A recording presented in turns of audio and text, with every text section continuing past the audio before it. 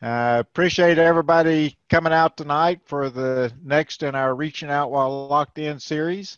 Uh, tonight, uh, you're probably going to recognize the guy, although he just uh, uh, just put his video off. There he is. Now you should recognize uh, our speaker, Dr. Les Anderson uh, at the University of Kentucky. Going to talk about organizing the breeding season. I just wanted to let everybody know, though, we, we do appreciate.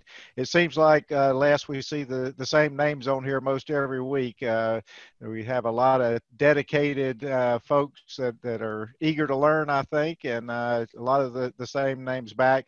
Um, I did a little summary of, of registrations and all this week and uh, let you guys know that there's almost or just over about 250 people that have registered uh, to participate. Uh, that was from, I think it was 78 counties, uh, six other states, and one other country. Um, so I think that's that's pretty neat, Les. And uh, so, neat. yep. And we've been we we appreciate you guys sticking with us and and hopefully you're getting something from this. Um, so as i said tonight uh, dr les anderson is going to talk about organizing the breeding season. I'm going to give a huge introduction. Everybody knows that les is our reproductive physiologist uh, extension person uh, there on campus and uh, does a tremendous amount out in the field with you guys and uh, and helps in the classroom as well um, and so, Les, I'll turn it over to you and let you tell these fine folks what they need to know. That sounds great. I assume everybody can hear me fine. I'm going to go ahead and turn off that ugly picture of mine, and we'll get to the uh, get to the presentation. Um, here we are, uh, you know, uh, just about the middle of October, and for those of you that have a fall breeding season, it's uh, it's getting pretty close, and we've got to start thinking of the things that we need to do to prepare our cows for an excellent breeding season.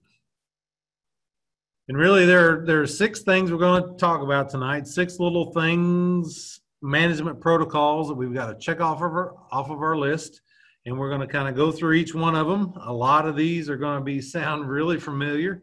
I was uh, talking with uh, my colleagues just a second ago. How many different ways can you talk about the exact same thing? Um, but that's what we're going to try to do tonight. We're going to try to organize it in a checklist fashion.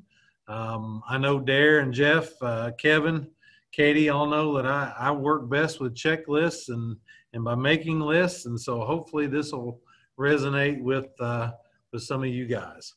So the first item, the first protocol that we need to check off of our, of our checklist is a breeding soundness exam. And breeding soundness exams, uh, you, you know, are, are, simple.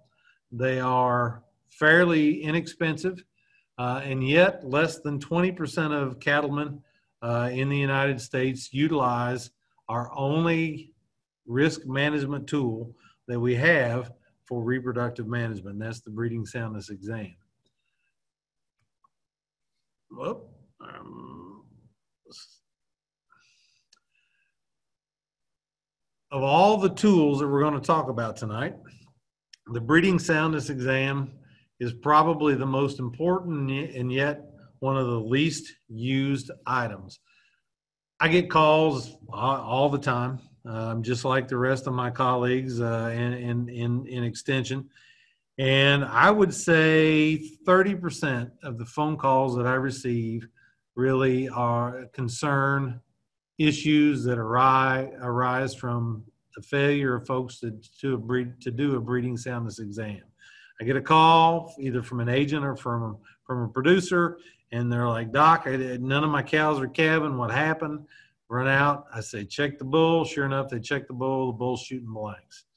And the only tool that we have to identify our, the opportunity that our bulls have to breed cows is a breeding soundness exam. And hopefully, I'll explain it well enough that I'll convince you to get a breeding soundness exam every single year before every single breeding season about 30 days. Okay. Uh, it's so important for us to get these breeding soundness exams done to limit our risk of zero pregnancies. The breeding soundness exam has three main components the scrotal circumference, the physical exam, and a semen evaluation. We're going to very quickly go through each one of these. This is just a picture of a, of a bull getting uh, the scrotal circumference performed. Um, it, it's got to be greater than 50 degrees. You grab the scrotum, pull it away from the body. You take this uh, centimeter tape and you measure along the widest portion of the scrotum and you take the measurement. This bull measures 29 or 39 centimeters. Why in the world do we care about scrotal circumference? Well, scrotal circumference has been shown uh, to be very highly correlated with semen output and most importantly with serving capacity in bulls. So the bigger the bull's scrotum, the more semen the bull can put out and the more cows he can serve during the breeding season.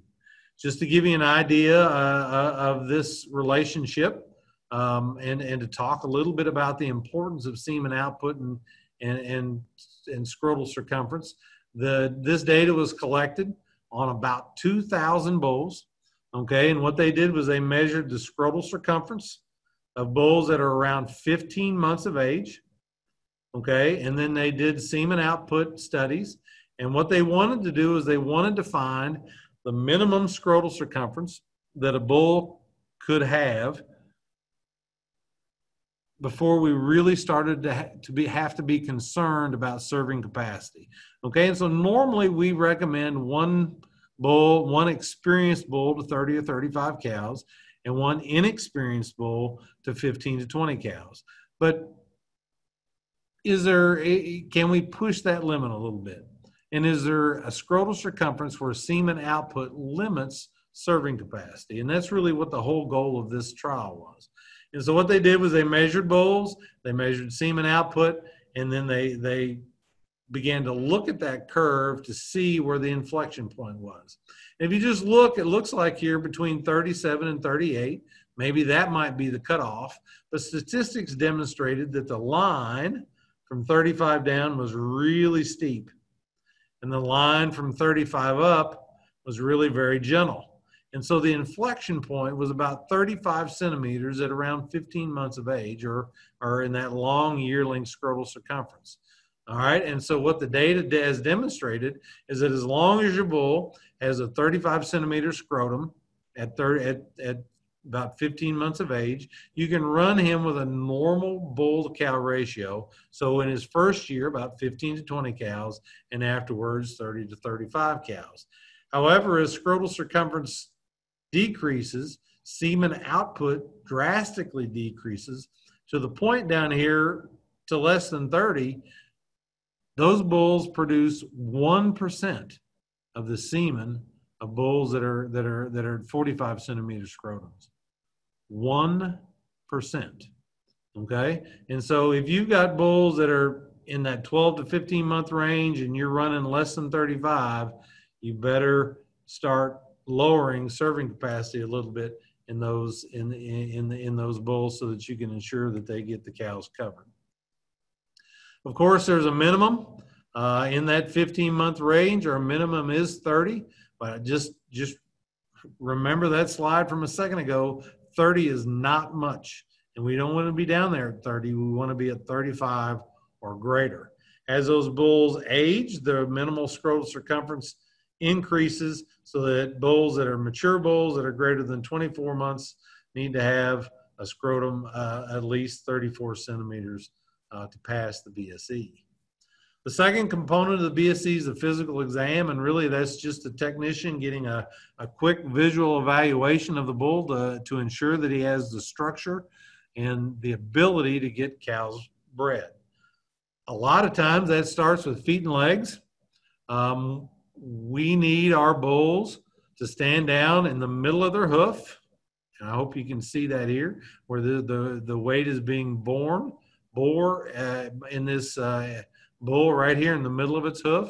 And we want the, the hooves to be square and pointed forward.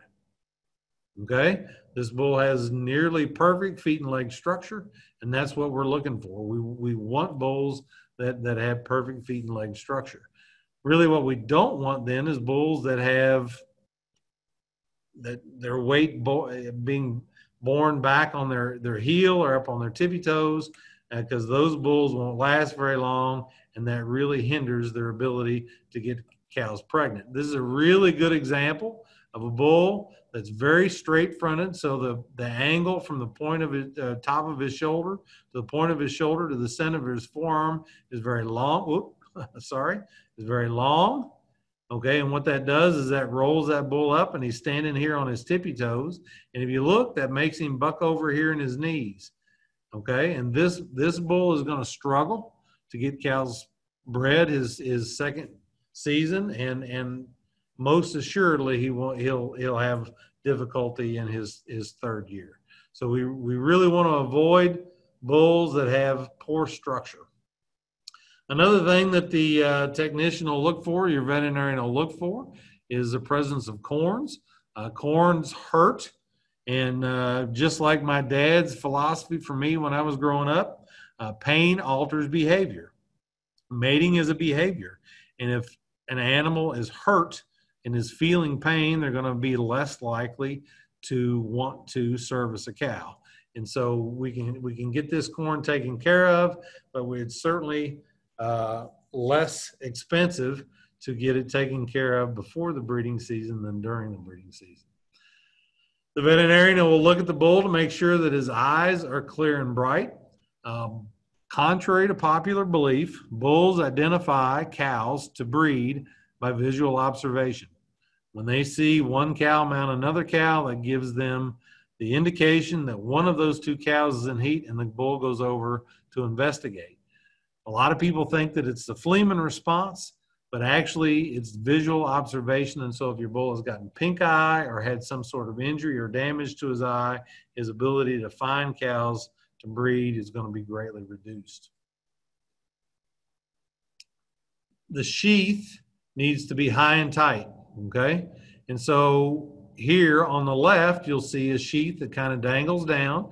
And it's really the not the sheath in our part of the world that's the problem, but it's this hair.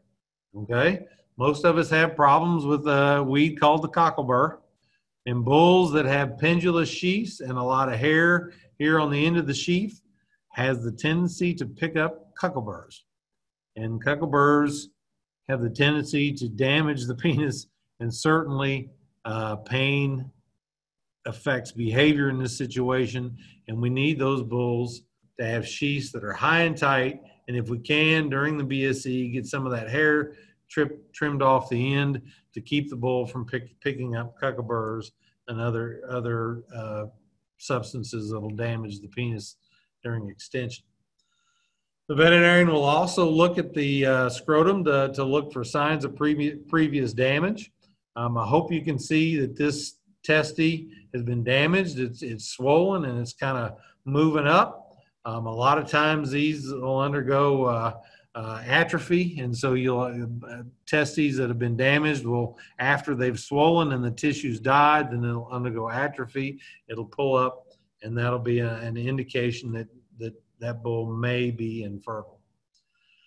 Physical exam also includes a rectal exam, and what the veterinarian checks for here really is abnormalities in the bull's reproductive tract, the seminal vesicles, the prostate, and the ampulla. Really, the main problem that uh, they examine is vesiculitis, which is a bacterial infection in the seminal vesicles. Um, what the bacteria does is it gets in the semen, and then that reduces conception rate by 20%, which can extend the amount of time needed to get cows pregnant by up to 50 to 60 days. And so, if we, and we'll talk about this in a little bit more detail later, but we need to maximize our opportunity for at each estrus for a cow to conceive. And when a bull has vesiculitis, their ability of the sperm to bind to the egg is greatly reduced. The penis will also be extended and needs to be extended during during the exam to make sure that there's no penile abnormalities. There's a lot of different things that can happen to a bull when he's breeding a cow, and a lot of different abnormalities that can occur. And the technician needs to make sure that the bull has the ability to extend the penis to ensure that the bull has the ability to breed the cow. During the uh, BSE, the semen is collected the semen is evaluated underneath the microscope and they look at sperm morphology, which is just the shape of the sperm Are the sperm heads normal? Are the tails normal? And then they look at the motility, and that's just an indication of how fast this, the swimmer, the sperm are swimming and how much activity they have. After all of this evaluation, the semen, the physical exam, and the scrotal circumference, the veterinary will give an evaluation. Bulls will be either satisfactory, unsatisfactory, or the classification will be deferred. Unsatisfactory is certainly uh, very clear. If the bull is not a satisfactory breeder, he needs to be culled, take, taken to the stockyards, and sold.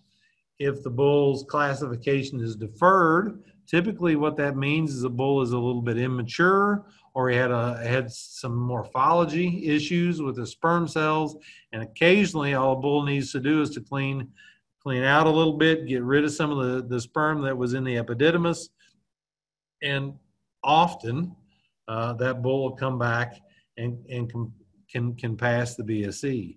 But that's not always the case. I've had uh, people that I know that have taken bulls back four and five times to, to pass the BSE. And in my opinion, and in my uh, in my experience, if they can't get past the second uh, BSE, then those bulls need to be sold uh, at the stockyards. Satisfactory, unfortunately, does not 100% guarantee that the bull can get cows pregnant. Breeding is, is, twofold. Number one, the bull has to have the equipment and has to have the athletic ability to get the job done. That's what the BSE is for. The other component is libido or drive. And the BSE does not really look at, at sex drive, at libido, and often that can be an issue with bulls. To, to make sure that the bull is, get, are, is getting the cows bred, we just kind of have to use visual observation. Just make sure that we're not seeing the same cows in heat over and over and over again. Okay? Again, only use bulls that grade satisfactory, and I really wouldn't use a bull that's been whose classification has been deferred more than once. And then the minimum scrotal circumference to pass the BSE is 30 at 15 months. I highly recommend that a breeding soundness exam be done before each breeding season because you just simply cannot predict failure. Okay? I had one professional argue with me one time that said, well, if you watch them every single day, breed every single cow, then then you don't really don't need to get a BSE done. I disagree because you can't see whether the sperm are binding to the egg. You can't see a lot of the issues that can that can happen with a breeding soundness exam unless you actually look at it. One thing to keep in mind is that any illness that elevates body temperature for two degrees for 48 straight hours can render a bull totally infertile for 60 days. Okay? So if a bull gets respiratory disease and and you know out in the pasture or, or some issue where we can't get the bull up and get him treated quickly, and he's had a fever for two full days, that kills every sperm cell in the in the testy in the scrotum. Okay, so they have to. It, it takes 60 days to grow a new batch. Foot rot is the most uh, common example that we have of issues with with uh, illness in a bull that that impacts fertility. The data, and there's actually been two or three studies done on this, is that the data says that if you treat a bull within that first day of them showing physical signs uh, of of foot rot, so limping, got a little bit of a fever, then you're only going to have a one to two week reduction in fertility. However, if that bull's infection in his foot is allowed to rage, rage more than two to three days, um, then many of the bulls are rendered totally infertile for up to again 60 days. And so if you've had a little bit of problem with foot rot, and, and that, that happens sometimes in the winter and spring when we got our bulls up, you've had a little bit of problem with respiratory or, or any other illness, just be aware that that's a long-term reduction in fertility for that bull. One of the things that really gets people is is is injury. The the penis will have some sort of damage, a hair ring or a wart or or again physical damage, so that the bull cannot extend the penis, cannot uh, uh, effectively breed a cow. And since the penis is held up in the body cavity, it's it's impossible to see a lot of in a lot of cases. And so my biggest thing here is this is your risk management deal. Are you sure that he didn't get hurt? If you're 100% positive he didn't get hurt, then the only thing that you're risking is whether or not the sperm is fertile. So the first thing we're checking off of our checklist is breeding soundness exams, and I spent quite a bit of time on that because it, again, it is very underutilized. It's cheap. Normally, they only they're fifty to seventy-five dollars, and it's the only insurance we have on the breeding season. The second thing we need to check off of our checklist is we've got to vaccinate. It it's interesting to me, and I and I I know a lot of you you folks know that I spend a lot have in the past spent a lot of time on farms. It's very interesting to me when I go on a farm and I do my the the initial check of of, of what's going on with the reproductive issues on a farm. Vaccination is not one of the things that's often checked off of the uh, of, the checklist for your mature cow herd.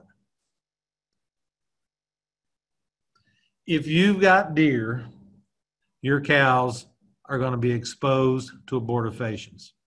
Okay, so if there's deer and your cows have the opportunity to drink groundwater or any other contaminant that those deer have been around, even if there's not any other cattle around, deer can spread lepto and BVD to your cow herd.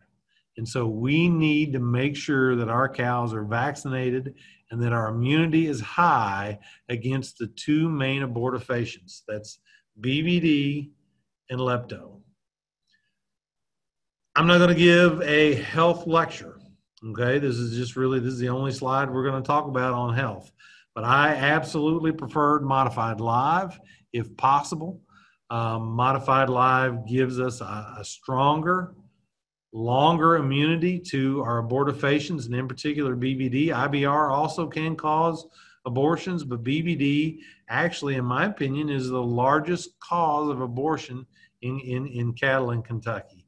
And uh, in some instances, I've seen killed va- vaccines be completely inadequate on meeting the challenge of the viral load in an, in an environment. And so that's why we re, I really prefer a modified live vaccine if possible. Of course, we need lepto, vibrio in there, and if you can, some hardjo bovis just to cover um, every base. One of the keys is is we need to get it in 30 days before the start of the breeding season. Okay, because if we come in a little bit later than that, some of the active viral components of BVD will actually get into the follicle and reduce conception rate. And we want to make sure that we get that vaccine vaccination done at least 30 days before the breeding season. Read the label, okay, and boost if you need to. Uh, and then I absolutely recommend coming back and boosting at weaning or at preg check so that we can maintain high levels of immunity during uh, the, the entire pregnancy. And then for your younger cows and your thin cows, I absolutely recommend that we deworm them. The next thing we've got to check off of our checklist is we need to make sure that the nutrient status of our cows is adequate to support optimum breeding. Um, I'm not going to give a huge nutrition lecture, but I'm going to bring this same slide up. If you guys have heard me talk about reproductive efficiency, you have seen this slide. Okay we have to make sure that our cows are in adequate body condition if we want to maintain a high pregnancy potential. The cow on the left is in a body condition score three. We can see ribs. We can see sharp hook, sharp sharpness around the hook bones, sharpness back here in the pins, and sharpness over the spinous and transverse processes. You can even see a sharpness up here in her shoulders. This cow is not carrying much fat at all she will be anestrus for four to five months. And even if she's cycling, her ability to conceive will be at 30% or less. So even if you get this cow to cycle, she has a very low opportunity to get pregnant.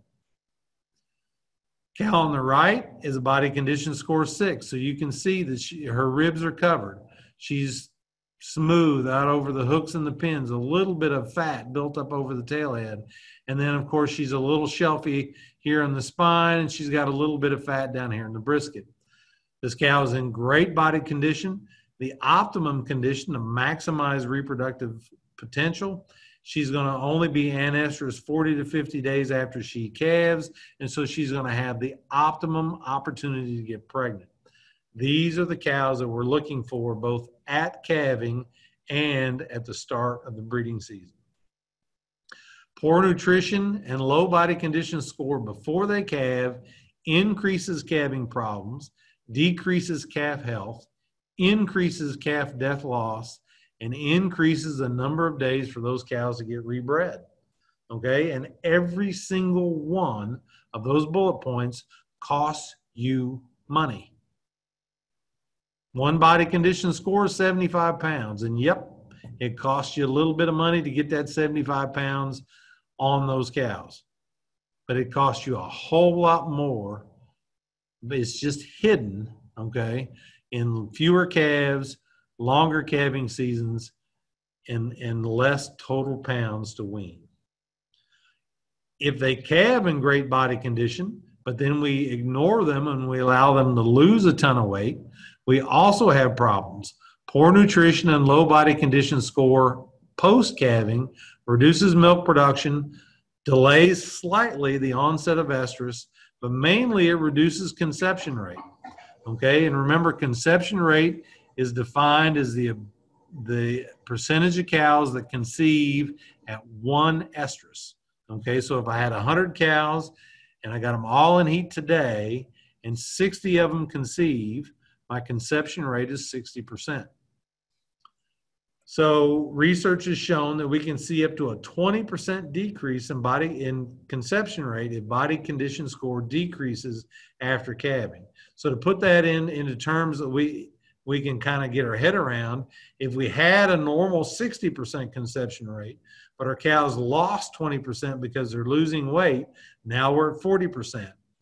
If our conception rate is 60%, it takes three cycles to get 90% of your cows pregnant. If conception rate is 40%, it takes five cycles or almost 110 days to get 90% of your cow herd pregnant. That's a real problem. As Dr. Lehmkuhler and Dr. VanValin would tell you, as soon as that cow calves, her energy and protein requirements drastically increase. And it's not unusual for us to see a 25 to 30% increase in the demand of that cow's uh, need, their, her needs for energy and protein. And it's our goal as nutrient managers to do the best we can to maintain body condition score. If our cows milk very hard at all, we, it's difficult to get them to gain weight post calving. But if we can maintain body condition score or just have a slight decrease, then the uh, the problems that we have with, with nutrition will be will be minimized. Another thing we need to check off of our checklist is we need to make sure that we are preparing our replacements to be successful, productive cows. And actually, uh, this is probably the thing that I'm doing the most right now uh, for our herds. I just uh, just finished this yesterday for the for the herd up here in Woodford County, and uh, it is so important to make sure that we get that our cows get started on the right foot. And heifer development is something that has been stressed here for for three decades, really. But it's something that we need to keep reinforcing because the better that we can manage these heifers to, to breed as yearlings, the more productive we can set them up uh, for their lifetime. Back in the 1973, one of the landmark uh, uh, reproductive management papers was published. It was published uh, uh, based upon about 2,000 calvings done in the 1960s. And what the goal of that research was was to identify factors that were common in productive, efficient cows. And what they found was the, the, the factor that was most highly correlated with productivity and profitability was when the heifers were born and when they conceive in their first breeding season. And it really became, becomes the most important principle in heifer development. Uh, a quote from that paper was that heifers that conceive early as yearlings during their first breeding season appear to be programmed for productive lives. Okay? And our whole goal as reproductive managers is to get our heifers bred early. So, our number one objective is to get these rascals bred early so that they have an opportunity to become productive, profitable cows for us for their entire life. This data was collected uh, in Nebraska just about, about 2010, I believe. Uh, so much more modern uh, data, but it all consistently backs up the data from back in the 70s. What these researchers uh, basically repeated what, uh, what uh, the research was from the 1973 um, paper. And what they looked at was calving period. So calving period one is the first 20 days of the calving season. Calving period two is the second 20 days. Calving period three is, uh, is the last 20 to, to 30 days of the breeding season.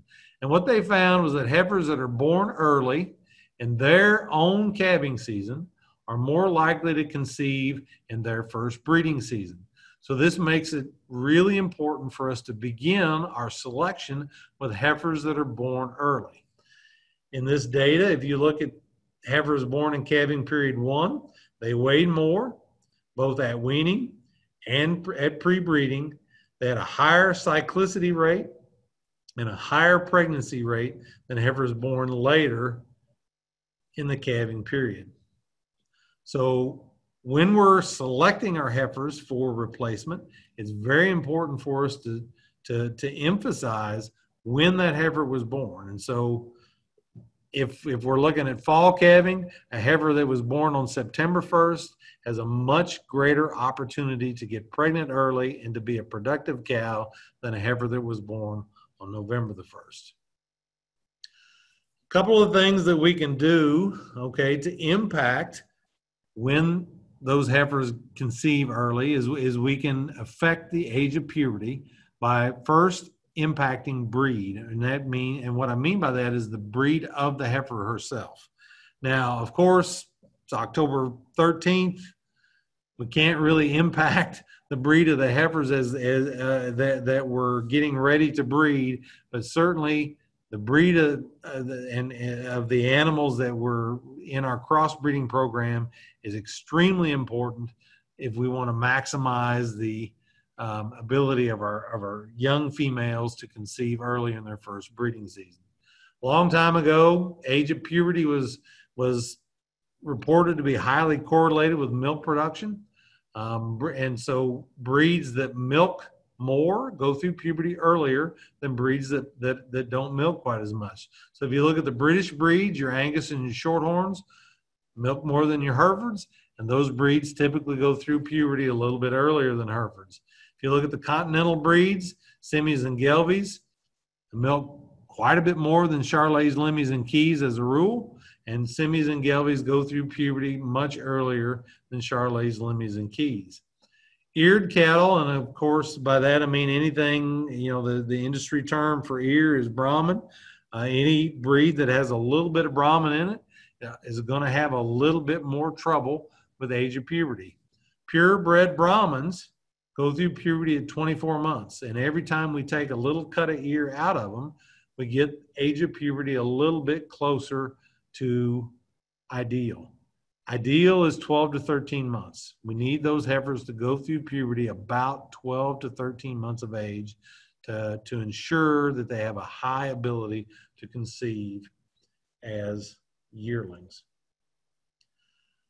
The main way we do that, and I know Dr. Bullock has pounded this guys into you, uh, this concept into you guys for a long time. Uh, but the main thing that we can do to improve the reproductive potential of our cow herd is to crossbreed. The main benefit of crossbreeding is the productivity and longevity of that F1 female. They go through puberty earlier, they conceive earlier, they calve earlier, they actually have an opportunity to rebreed as a two year old and the data has demonstrated that they that the longevity the stability of those animals in the herd is significantly greater than the straight bred contemporaries. So the best thing you can do from a breed standpoint is crossbreed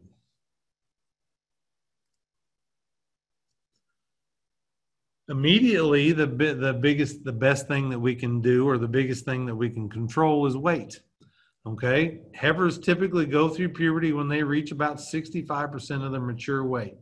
We call that the target weight and we want them to hit their target weight about 30 days before the onset of the breeding season. We want our heifers to go through puberty before the breeding season so they can get their first couple of low fertility cycles out of the way before we expose them to the bull. To maximize conception rate, we need those heifers to hit their target weight about 30 days before the onset of the breeding season. And that's right now for you fall calving herds. In my opinion, now is, is the optimum time to get your herd exposed to modified live vaccines. We want to vaccinate our heifers here in this 30 to 45 days before this first breeding season. And we definitely want to use our modified lives here because this is the least risky time to incorporate those, those vaccines and that cellular immunity is, is, is maintained for a longer period of time. And so if we, right after weaning, if we can hit them with this modified live, according to label, boost, or if if if the label says we can go ahead and wait right here in this 30 to 45 day window, boost them again with that modified live respiratory disease complex, hit them with lepto, make sure we deworm them, and those heifers are ready to get to, to, to prepare for breeding. Our second goal uh, when we're preparing our heifers is to manage for calving ease. Just most people that have calved heifers understand that young cows account for most of our problems, and that if if a two-year-old experiences calving problems, they're 16% less likely likely to conceive during the breeding season. A couple of things to think about. The data, and this is from late 80s to early 90s, the data are pretty clear that that the longer a cow is in in stage two labor, okay, and that's active contracting labor, the more likely she is to deliver a weak calf and the longer her postpartum anestrus period is going to be. As a matter of fact, for every hour that a female is in active labor, it takes her four days longer on average to recycle. So if they're in if they're in, in, in stage two labor for eight hours, let's say they have a hard delivery and you finally get that rascal out, it's going to be 30 to 35 days later for that for that female to to to recycle, and so that's going to really put some pressure on you to get her rebred. Highly recommend doing pelvic areas um, uh, about now. So this is one month before the breeding season. We use a Rice pelvimeter. We we take a vertical and horizontal measurement multiply those two numbers together to get our pelvic area. So we'll get, you know, a 14 by 12, which is 168. And then what I recommend you to do is to use this conversion, this table with conversion factors to help calculate how big a calf that cow can have without having calving problems. So what we did the other day is we had yesterday we had 13 to 14 month old heifers. They weighed on average about 800 pounds if I had a heifer come through with 180 square centimeter pelvis, if I divide 180 by 2.3, I come up with about 76 pounds. Okay, about 78 actually. So it said what that means is that heifer can have a 78 pound calf or lighter and not have calving problems. We know in our herd here eh, eh, at UK, both at Princeton and at Woodford, that if if we set our cutoff to 70 pounds, we pretty much are able to eliminate calving problems. And so we use this as a culling tool, not as a selection tool, so that any heifer that has a pelvis that doesn't support at least a 70 pound calf, we call. Another thing to check off your checklist is to develop a plan for your two year olds. Remember, your two year olds are those cows that are nursing their first calf. Their biggest problem is anestrus. It simply takes them 30 days longer to recycle than a normal cow. The length of anestrus in a normal mature cow in, in good condition is about 60 days. Okay, so the normal two year old then in good condition takes about 90 days. Okay, that's three months that puts her past the ideal 80 days that we want to get those get them rebred in to, to keep our 365 day interval. I have seen two year olds as as long as five and six months from calving still anestrus, and so developing a plan for our two year olds becomes one of the most important things that we can do from a reproductive management standpoint obviously we need to vaccinate them. Obviously we need to make sure that they're in good body condition. But the main thing that we have to do with our two year olds is we have to induce estrus okay? We have to give them a treatment protocol that will force them to come in heat early in the breeding season to give us an opportunity to get them pregnant there are three ways that we can induce estrus. We can do short-term calf removal, which means we can pull that calf off for 48 hours, the first two days of the breeding season, turn them back, turn the calves back in with the cows, make sure that suckling and everything is going well, and 80 to 100% of cows treated in this manner will uh, come into heat. Okay, and so a very effective method, but very time consuming um, to get that done couple other things we can do is we can feed MGA, which is an orally active progestin, for seven days right before we turn the bull out, or we can insert a CIDR device, which is a vaginal insert that contains the hormone progesterone. We can put that in for seven days right before we turn the bull out. And both of those methods have been demonstrated to be very effective in regulating and inducing estrus. So now the, the key is, is we, we, we, we've got our bulls in good shape. We're vaccinated the cows. Our cows are in good shape. Our heifers are ready to go. Our two year olds are ready to go. Now we have to plan the breeding season. And just to give you an idea of what I'm talking about, I just threw up an example uh, farm from, from one that we've had in the farm program. These were fall calvers. There was 32 of them. Okay, you can see the date of the first calf, the date of the last calf. They calved over 106 day window. The, these numbers are the number of cows that calved in each month. And here's the number of cows that did not calve. So we should have 30 calves out of those 32 cows. Okay, and so what I mean by planning the breeding season is we we need to to to, to make plans for either a controlled natural service season. And in this example, I've got December the 1st to February the 10th, or an AI combined with natural service, which just has fixed time to AI on our first day of a breeding season and removal of the bulls at the same time. When we get our cows, we need to sort those cows into three different management groups. Okay, assuming that they've all been vaccinated and that they're in good shape that you've done the job you needed to do from a nutrient status. Okay, we need to place cows into three categories based upon when they calve and what age they are. Easy calvers are these cows that calve in August and September. They calve early in the breeding season. They're mature cows in good body condition. Hard calvers are these cows that are calving in uh, October, so the second half of the, of the calving season and all two year olds, regardless of when they calve. And then our very hard cat breeders are these cows that are calving either at the start or during the breeding season, okay, that we have to work to get moved up, okay? So we have three groups easy, hard, and very hard. So we're just using natural service. What are we going to do? For the easy cows, the easy breeders, we don't do anything. We simply turn the bull out on December the 1st. For our hard breeders, okay, those October calving cows and all of our two year olds, we're either going to put a CIDR in for seven days or feed MGA for seven days before we turn the bull out on December the 1st.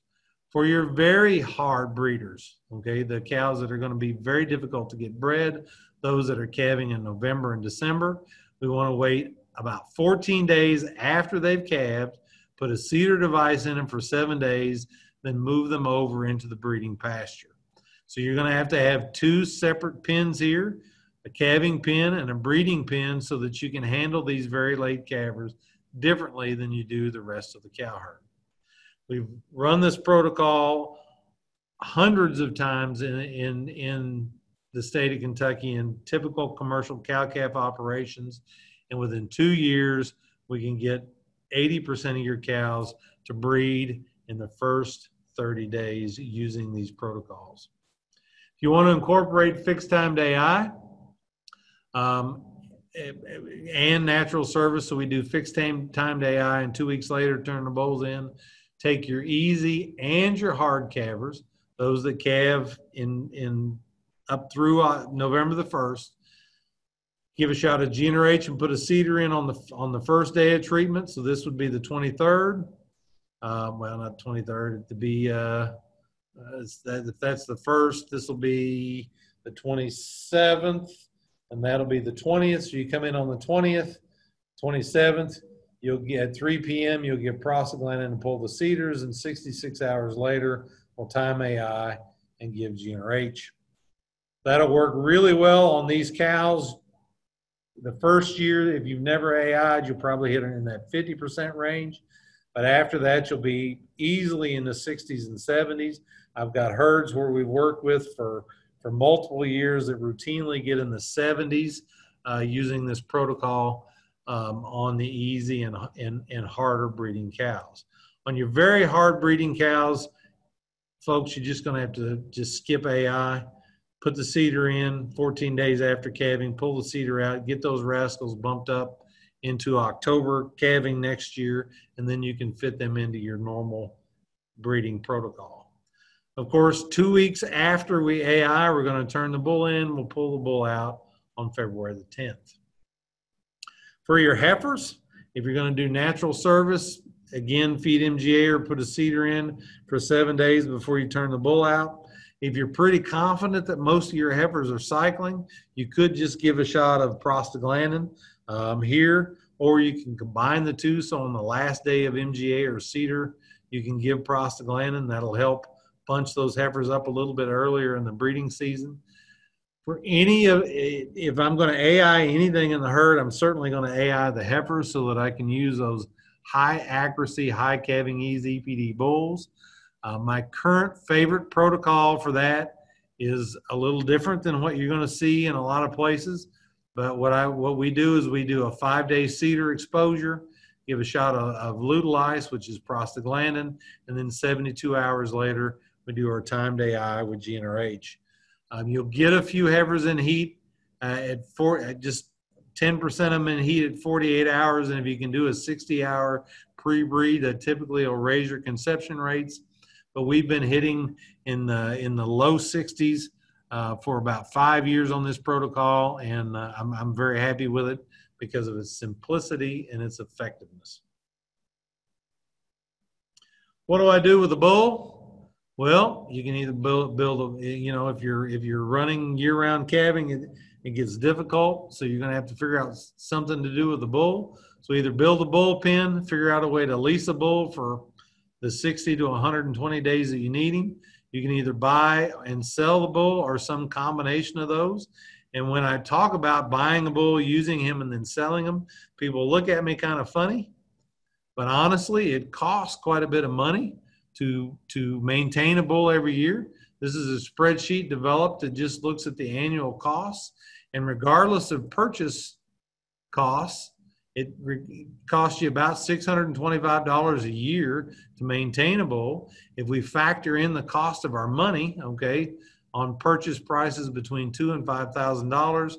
We get we get a pretty high annual cost per year for your bull. And of course, your bull's job is to get cows pregnant, and so your pregnancies cost. And so if we're running 80, 85, or 90% pregnancies on 15 to 50 cows, you can see that pregnancies aren't cheap.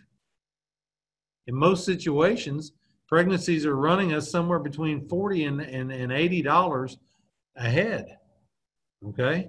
And so if we buy a bull and we spend $3,000 on that bull and then we sell that bull for 1400 bucks, okay, and we've got 1600 in him, okay, and we get 30 pregnancies, that's costing you $50 a pregnancy. You know what? That fits right in here. That's not more than normal. It's just different than normal. Okay. So think about some of those things when you're thinking about how to buy, manage, and, and control your breeding and calving season. And of course, once your cows are pregnant, I'll be honest with you, I don't care if you leave the bull in there. Okay. Just as long as you promise me to get your cows preg checked and only keep those that are kept in the window and give prostaglandin to all, all of the young heifers that are running in there so we don't have any problems with early pregnancy. So, I'm out of breath. The six things we got to check off of the checklist perform a BSE every year, vaccinate your cow herd 30 days before the breeding season every year. And I also recommend a preg check or weaning booster. Feed your doggone cows. Make sure those suckers get in body condition score six. We've got two great nutritionists on staff We've got 120 great agents, ANR agents in our in, across the state. Utilize these these these professionals to help you figure out how to get your cows fed. Prepare your yearlings. Select those that are bred early so that they have the opportunity to conceive early so that they have a chance as two year olds to rebreed. Since two year olds are a pain in the rear, make a plan for those two two year olds that includes indu- inducing estrus. Use the CIDR, use MGA, or pull those calves for 48 for 48 hours. And then finally, we're we're 30 to 40 days from the start of the breeding season. Make a plan. Let's get out of here. Let's get a checklist. Let's make a plan. Let's contact our AI tech professionals, if we're doing AI, let's get those CIDRs bought in. Let's get the MGA purchased. Let's figure out what's going on with our bulls. Let's make a plan. Dr. Bullock, that's as fast as I can talk for 55 straight minutes. You did fine, my friend. Uh, I got one complaint and suggestion for improvement even though you did a fantastic job of in your slides to talk about the impact of heterosis, you failed me at the end. It didn't make your top list, and I need it in there, buddy. Is heterosis not crossbreeding? Well, it is, but what I'm saying is it needs to be one of your final. It's seven instead of six. Oh, I got you. Nitpicking me on genetic. I tell you what, folks. I tell you what so, and I also want to I point out. I mean, uh, we, we got a crossbreed, man. I mean, it's yeah, it's, it's, a huge impact. It's the the reason to crossbreed is the females. As, Absolutely. You, know, you get a little bit of bump in your steers, but the reason to crossbreed is the females.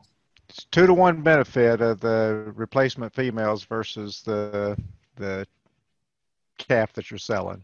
Um, the other point uh, that I'm, I'm, I'm going to hijack you here for just a second. The, the other one is you talked about F1s, but don't feel like you have to have F1s either. Even a good rotation of two breeds, um, you can do a pretty good job that way too. But uh, I, I, hope everybody heard you say that basically that, that your job is, is really we don't really need you as long as we have good nutritionists and good geneticists to crossbreed and feed them right, then your cattle are going to get bred. Is that about right? Yeah, feed MGA and do everything else, and you're in good shape. Make sure they're healthy. Speaking of which, Chuck has a question for you. Can I give modified live 30 days prior to calving? If the if they have been exposed to the modified live in in the past, you can do it without risk of abortion. If they're naive to it, you always have that risk. And most of the labels, I think, still say not to do it if they if they're naive to the modified live. If Dr. Arnold's on, she can she can chime in and correct me if I'm if I'm wrong there, but that's the rule that I go by. If they if they're naive, I don't give it pre-calving.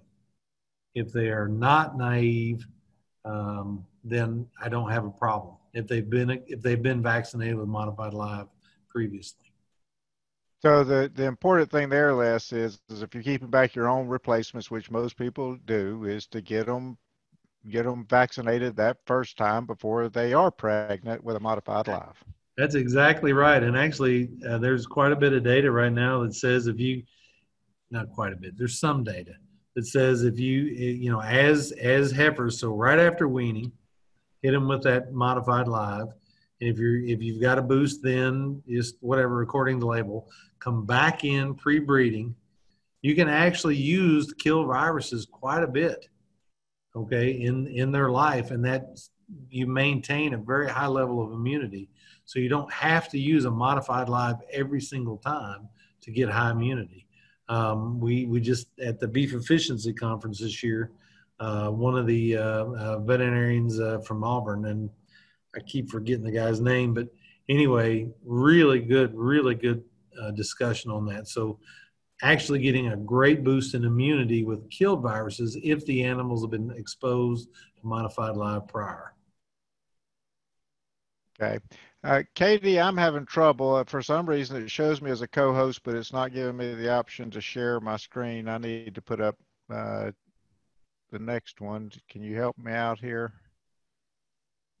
I, Darrh, I, I pulled up the chat here to me privately. There was a question that says, What would you feed the calves that you pull for 48 hours? Kevin, that's a great question. Uh, I have done this both experimentally on, on two of the farms that I managed, and I, I always put uh, a, a, loose hay out there. So in the, the last farm, we did some alfalfa hay um, and water, and they didn't eat a lick. Um, Jeff, Katie, you guys might chime in here. I didn't I didn't get they didn't eat anything. Um, and when when I turned them back out with the cows, they were ready to nurse. Um, and so uh, I had loose hay available for them. Um, but you know, most of these calves are pretty young, and and and none of them are bunk broke, and so they really don't eat much for for about 48 hours.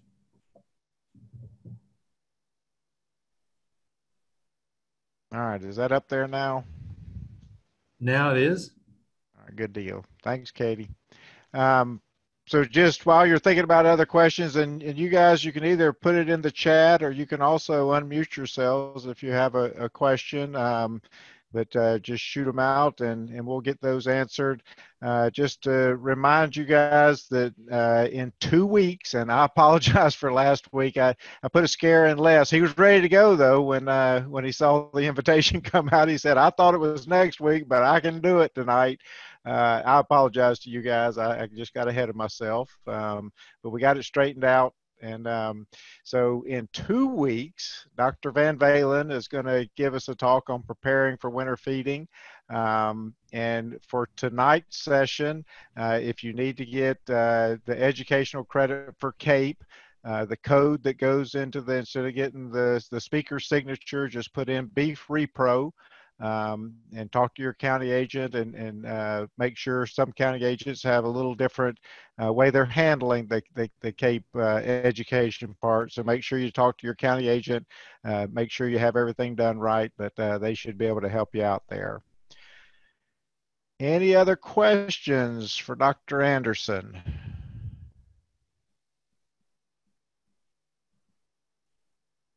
Man, they're letting you off easy tonight, Les. I don't, I don't know what's going on. Must have, must have put them all to sleep. Probably talked so fast they didn't catch anything I said. Oh, I had another one for you. Um, you know that I can't leave tonight as well without talking about EPDs. When you were talking about scrotal circumference, um, and you talked about getting a scrotal circumference measurement, um, is that better than the EPD, or what do they need to be doing there? From a repro standpoint, scrotal circumference EPD doesn't mean a whole lot to most of my commercial guys. Um, seed stock guys certainly, um, but uh, the individ that bull's individual scrotal circumference is, is what's important for that bull's individual ability to breed a cow. So if if you're if you if you're seed stock guys, scrotal circumference becomes more important. But if you're if you're buying bulls, or you're using bulls in a commercial cow calf operation, honestly, is just his individual scrotal circumference is what matters. So some people might think we're ready to fight, but you know as well as I know I was setting you up on that one. But uh, mm-hmm. it's absolutely right, folks. On for, for commercial producers, it's that actual measurement. Uh, it's the only only trait that you ever hear me say that about. But uh, for scrotal circumference, it's the actual measure. For a commercial guy, for you seed stock guys, uh, keep selecting based on scrotal circumference EPD to be able to sell those bulls with large scrotal circumferences. So uh, just wanted to make sure we had that clear. Any other questions? Katie, Kevin, any of you guys? I think uh, I think Jeff. Um, we lost Jeff somewhere in the process late. I saw, but uh, Katie or Kevin, any any last words for the folks? Katie, Kevin, if we've got a cow on a body condition score four now, okay, and and she's lactating, and we got to get her as close as we can to five in 45 days. What do we what do we feed her?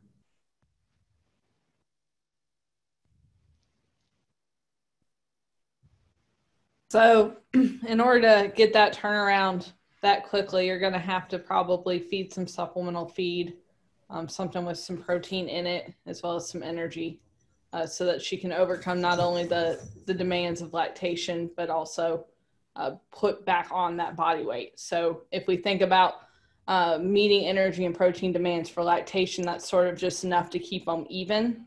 And so, uh, we're going to have to go a little bit extra to overcome that and put a body condition score back on that on that female. So um, my best suggestion would be to work with a nutritionist on a kind of a case by case basis based on what feeds you have available and and what your individual system looks like in order to to get that feed out to her.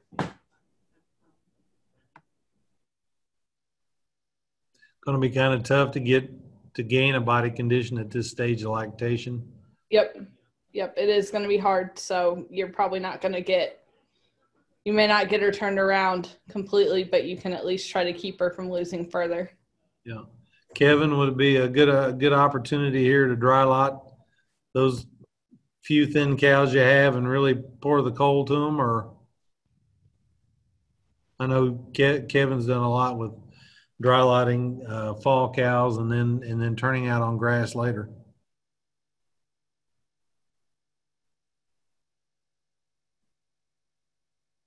He's unmuted, but yeah, I don't hear anything. How about now? Y'all hear me now? Gotcha, Kevin. All right. So yeah, what what people get into is they trying to bucket feed a bunch of aggressive cows that much energy because you're going to be talking at least eight to ten pounds of a supplement like a soy hulls or some kind of mix for that extreme situation you just described and and that's why I think it's I think a, a good long term investment, you know, would be these cube feeders or cake feeders that people have, so you can safely put out that kind of feed uh, to aggressive cows, you know, of that quantity.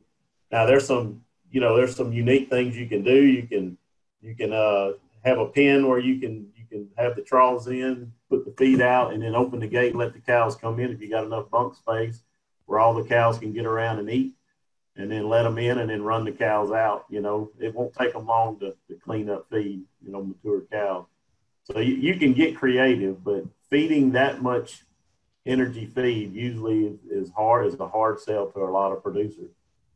Um, but we get into these drought situations. Y'all got some dry, y'all probably got some pastures that are overgrazed. Right? Didn't have the rain, and every time we get into a drought, dry spell type short pasture situation, we get into this exact situation you just described, Les, about having thin cows that are lactating going into breeding season.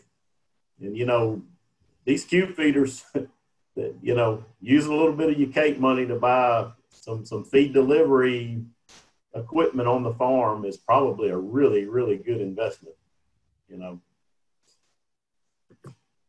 Kind of interesting, Kevin. You brought that up because I don't think a lot of people think about that. But you talk about the aggressive cows and particularly hungry cows, and uh, you know, it seems like every year we tragically lose somebody or, or get somebody at least seriously injured uh, with cattle. And I bet you it's just as often with friendly cattle that, that are in a situation like that than it is an aggressive cow actually hurting somebody. And yeah, so, and, I, uh, and what I mean by aggressive, I didn't necessarily mean mean coming at you, but right. You, get cows coming into, you're going to try to bucket feed, say 30 cows with, and try to put, I mean, they're going to eat that feed as fast as you're trying to wade into that bunk and put it out.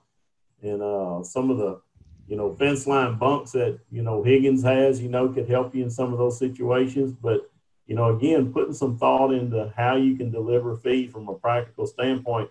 And I'm going to tell you what, you know, uh, I'll pick on you, there. Uh, me and you are the older ones here you know, we trip and fall with a bucket of feed next to a trough. Maybe we step in some mud if we happen to have mud again, you know. Uh, we trip and fall and there's, you know, 10 or 12 cows trying to get to the to the bunk where we just fell. You know, they don't have to be mean, they just have to be hungry. So um, and then, you know, we're hurt. So I mean it's I, I think there's some there's some pretty neat gadgets out there, you know, for three thousand dollars or less, you can probably have a bulk tank and some kind of feeding apparatus that can go behind an ATV and keep you out of a lot of trouble.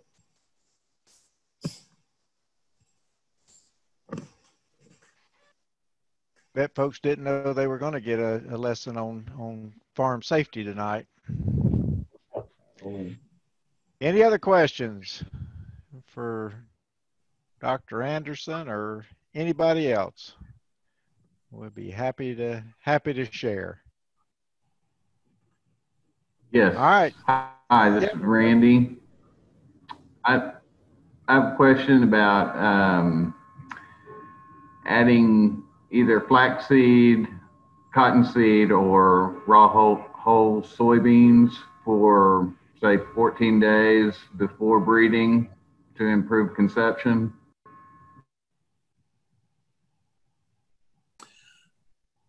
That that in addition to your regular feed that you're feeding.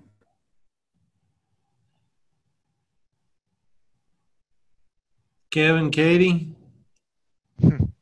Well, I, I mean, Katie, you go ahead. I mean, but I, I think there's been some pretty good research to know what whole soybeans to the tune of what two to three pounds of whole soybeans. Uh, I don't think you want to go much over that, right, Katie? On the from a fat standpoint, is that correct? I would think so on the fat standpoint. I'll be honest, I don't know the research that you're you're referring to. So, but that would that would make sense. That that would be one thing you'd want to watch is is fat content. Uh, that technique is called flushing. I don't know if Jeff, Jeff ends up is, is he gone there? There, you muted. I'm still here. I'm watching. So anyway, Randy, um, um, that called flushing. You're either taking advantage of the the added fat, which increases conception rate, and you can see a bump in conception rate in cattle um, about two, three, sometimes up to four percent. Um, but, and there's always a but, right? Um, in mature cows in proper condition, no effect. In young cows, great effect. In thin cows, great effect. And so if you're doing your if you're doing your job with nutrient status at calving and from calving to the start of the breeding season, you're not going to get a huge bump in conception rate uh, with your high fat supplements. Um, but that's, you know, that that's that's the data that I'm familiar with. Um, Kevin, if uh, either either you or Katie, if Jeff ever got back on, I know his internet was bad tonight. Um, that's the data that I'm familiar with. Yep, he's he's uh, Lim Cooler. He, he must have hit a bad spot, so um, he's off. All right. Any last thoughts, questions, anything, anybody? If not, I'm not going to keep you guys. We appreciate everybody joining. Be sure and catch up with us in two weeks uh, for Dr. VanValin on preparing for winter feeding, and we'll see you guys then. And then we'll have a couple in November as well. So appreciate you guys joining, um, and we'll see you in two weeks. Good night.